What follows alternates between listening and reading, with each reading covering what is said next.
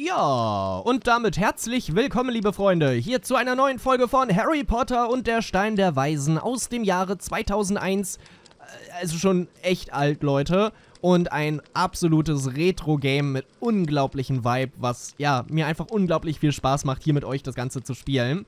Schön, dass ihr wieder alle eingeschaltet habt. Wir haben hier zuletzt aufgehört, nach einer Unterrichtsstunde bei Professor Flitwick, der uns da äh, Wingardium Leviosa gezeigt hat, habe ich ganz gut absolviert. Und ja, jetzt sind wir hier in diesen Raum gekommen.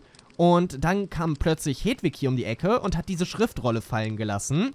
Und ich würde sagen, ja, schauen wir uns mal an, was da auf uns wartet. Harry, komm nicht zu spät zum Kräuterkundeunterricht. Ich warte am Eingang zum Gewächshaus. Wir sehen uns. Hermine!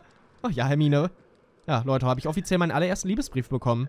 Ähm, so. Gut, ich habe also ein Date mit Hermine. Schon mal sehr cool. Dann, äh, ja, holen wir uns hier natürlich noch die Bertie Bots Bohnen. Die dürfen nicht fehlen. Und da oben haben wir offensichtlich irgendwie so einen Durchgang. Ich denke mal, mit Jump'n'Run wird man hier gut hochkommen. Gucken wir natürlich auch mal vorbei. Wobei, was ist das Beste, was man so außerhalb der Unterrichtsstunden finden kann? Sterne werden es ja wohl nicht sein.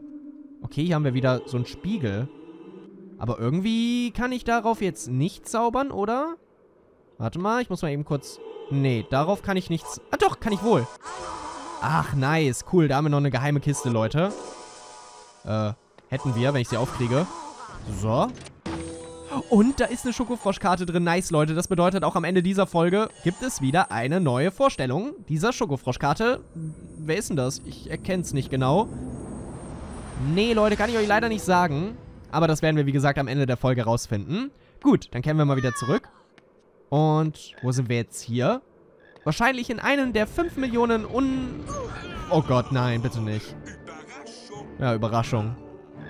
Oh nee, was will der denn jetzt von mir? Was hat er gerade gesagt? Hat er gesagt, dass ich hässlich bin? Kollege Turnschuh, provozier mich nicht. Wie, wie geht denn das jetzt hier nochmal? Ich glaube, ich muss die Dinger irgendwie zurückschießen, oder? War das nicht so? Na komm, schieß mal. Nee, irgendwie war das auch nicht so. Hm, okay. Ach so, ich muss wahrscheinlich einfach auf den draufschießen. Da sind wieder diese komischen glitzernden Dinger. Und da war dieses Flipendo-Symbol. Äh, wenn... Oh Gott. Ich glaube, der ist sehr flink. Nee, hat auch noch nicht so gefruchtet. Nee, auch... Hä, wo, wo kommt denn das Flipendo-Symbol bei dem? Hä, habe ich, hab ich gerade etwas richtig gemacht? Hä? Ich bin verwirrt, Leute. Ich dachte die ganze Zeit, dass das keinen Effekt hat, was ich hier tue. Aber offensichtlich hatte das einen Effekt und äh, hab's irgendwie geschafft. Cool. Ich hab gedacht, ich fail die gerade die ganze Zeit. Aber irgendwie habe ich anscheinend was richtig gemacht. Okay. Hallo, Schokofrosch. Hey Harry! Okay, das sind geheim, geile Geheimgänge. 25 Bohnen für uns? Wir brauchen die Bohnen für, naja, Ja, ja, Experimente, Kollegen. Ich, ich weiß schon Bescheid. Ja, ja, ich hab, ich hab hier Gute Stoff für Harry. euch. Du hast uns jetzt alle Bohnen gebracht, die wir brauchen. Hier hast du eine Bildkarte. Ich hoffe, du hast sie noch nicht. Bestimmt nicht. Ich glaube, man kann hier keine doppelten Karten bekommen. oh, den kenne ich, den kenne ich, den kenne ich. Der, der, das ist, ähm... Ulrich, der komische Kauz, glaube ich. Mit der Qualle auf dem Kopf. Doch, doch, doch. Ich glaube, da habe ich sogar ein Faktenvideo zu gemacht.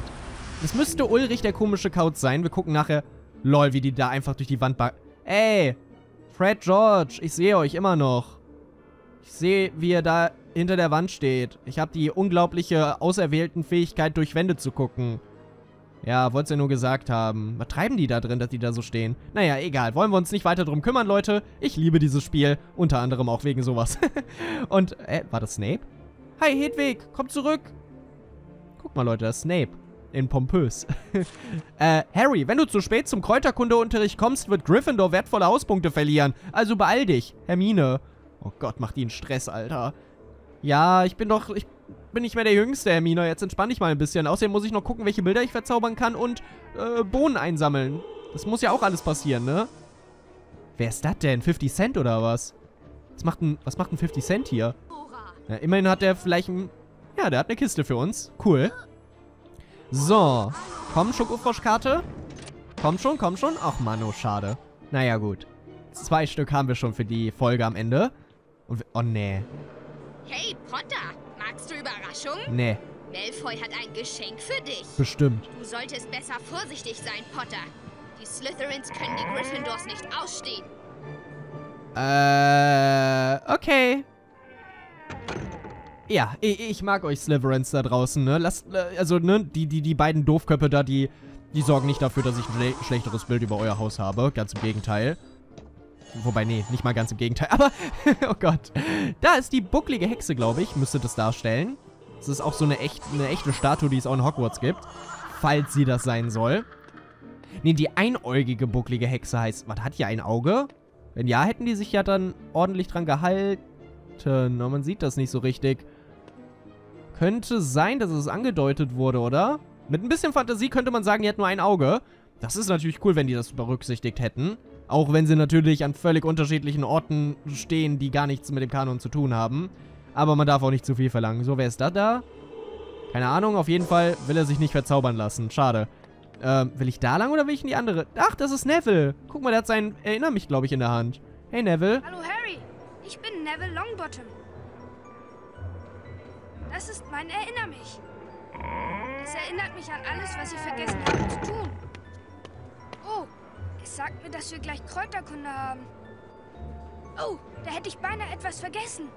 Nimm dich vor Draco Malfoy in Acht. Ja, das habe ich schon gemerkt. Ja, das habe ich schon gemerkt, Kollege. Ja, erstmal umschauen, ob Draco hinter uns steht. ja, äh, okay. Ich frage mich gerade, haben wir nicht immer Pullis in der Farbe der Häuser? Und warum hat Neville dann einen gelben Pulli an, wenn er Gryffindor ist?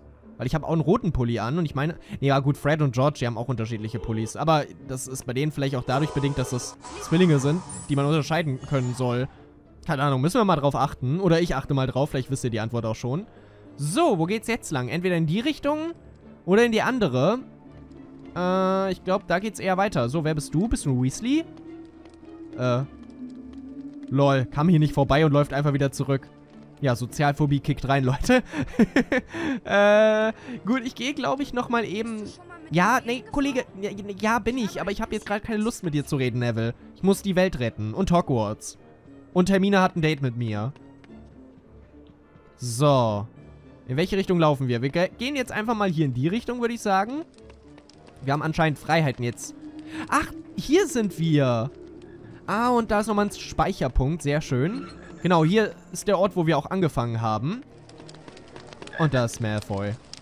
Na, sieh mal einer an. Du schon wieder, Potter. Spionierst wohl im Schloss herum, was? Ja, Bis hierhin und keinen Schritt weiter. Du kommst nicht an mir vorbei, egal wie sehr du dich auch anstrengst. Oh, Schluchz, Schluchz. Kommt nicht mehr aus dem Schloss raus. es ist halt schon ein bisschen cringe, oder? Mit diesen Zauberknallbonbons kann man eine Menge Spaß haben. Hier, fang. Ja, er hat sehr viel Redebedarf, Leute. Während Harry da einfach nur steht, sich das anschaut und sich selber wahrscheinlich denkt, mhm, mhm, red du mal. ah, okay, aber hier weiß ich zumindest wieder, oh, das geht mir ein bisschen schnell. Äh, So, und, äh, wir müssen die quasi auf den werfen, bevor die ex... Aua, bevor die explodieren. So. Okay, ja, da muss man ein bisschen geschickt sein, was ich natürlich nicht bin. Ah, wir haben ihn einmal. Sehr schön. Okay, wir müssen ihn ungefähr drei bis viermal treffen. Das ist ja kein Ding der Unmöglichkeit. So, zweimal haben wir ihn. Nochmal. So, ja, dreimal. Ach, das ist ja easy. Mal.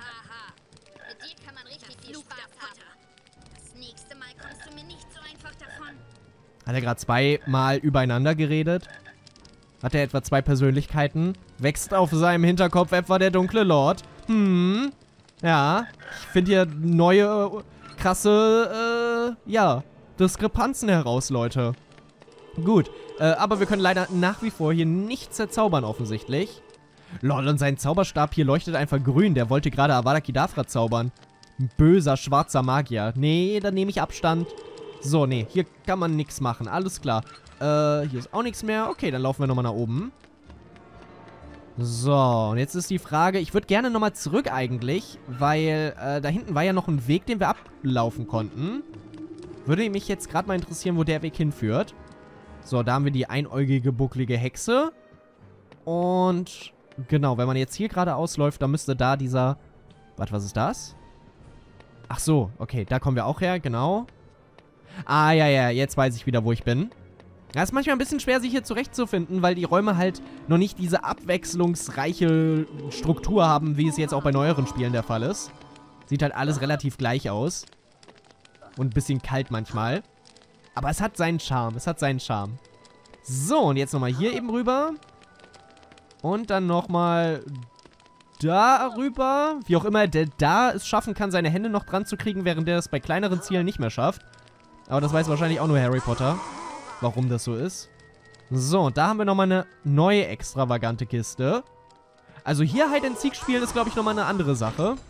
Also ich glaube, da... Oh, noch eine Schokofroschkarte. Ich glaube, das wäre hier ziemlich geil. So, wenn du die ganze Zeit so übertrieben viele Geheimräume hast, die durch verschiedene Mechanismen geöffnet werden und so. Stelle ich mir ultra, ultra cool vor. Den kenne ich leider nicht. Der sagt mir nichts. Der sieht aus wie ein dicker Papa Schlumpf. In groß. Ohne Mütze. Kann sein. Vielleicht gibt es Schlümpfe. Ja, stellt euch mal vor, Schlümpfe wären magische Tierwesen. Okay, mir geht ein bisschen die Fantasie durch. Äh, nein, Harry, du sollst da nicht hochklettern. Wir müssen jetzt hier raus. Wir haben schließlich Unterricht, den wir bewerkstelligen müssen. Ich würde sagen, da sollten wir auch langsam mal hin, weil ich glaube, Hermine macht sich langsam Sorgen. Hermine, ich komme ja schon. Beziehungsweise, ich würde ja gerne kommen, aber ich weiß halt gar nicht, wo du bist.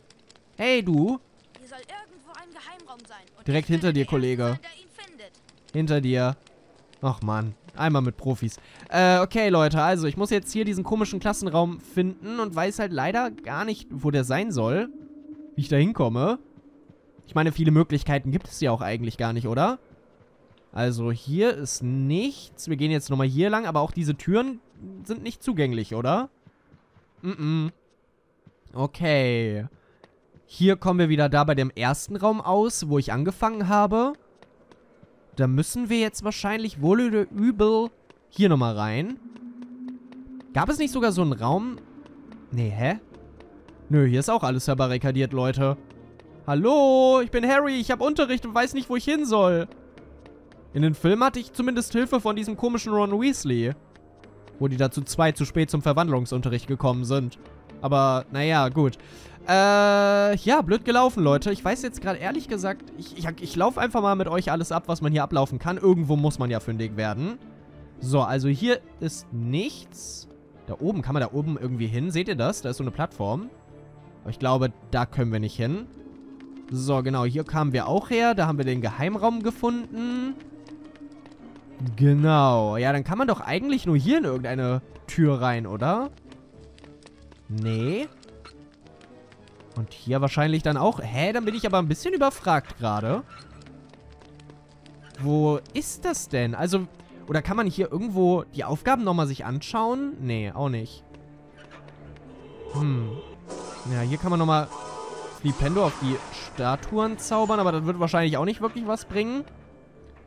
Ich kann mich auch nicht mehr dran erinnern, wie das war. Ich meine, es gab irgendwie so einen Sammelraum, wo quasi alle möglichen Türen waren, die in verschiedene Unterrichtsfächer geführt haben. Aber den gibt es ja hier gerade gar nicht. Wir haben jetzt hier nur diesen ersten Raum, wo wir herkommen.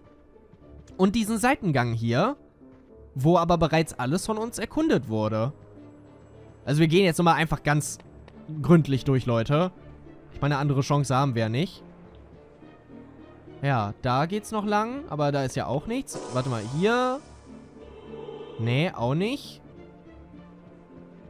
Neville, sag mal, weißt du zufällig, wo...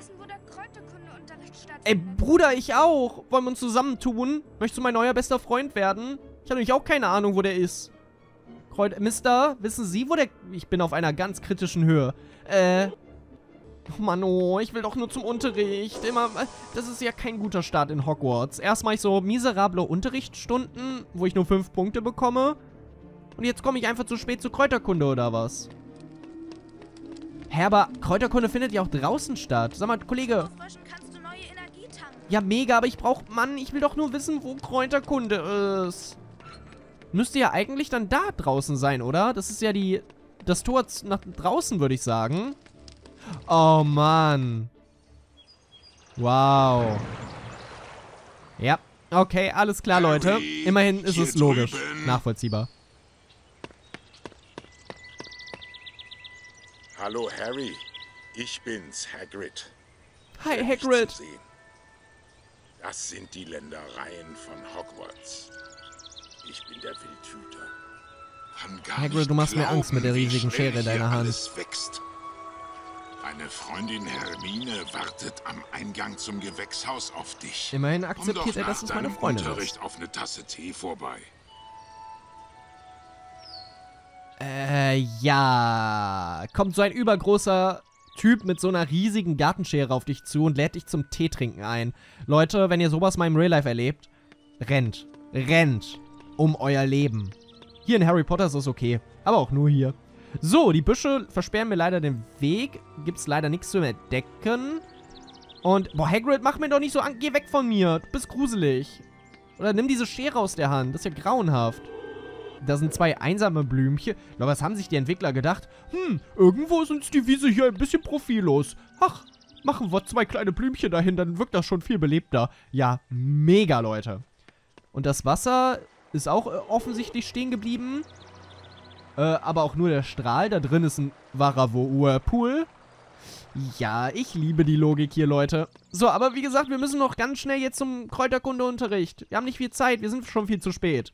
Hallo? Wer bist du? Ey, ist das Percy? Ich glaube, das ist Percy, oder?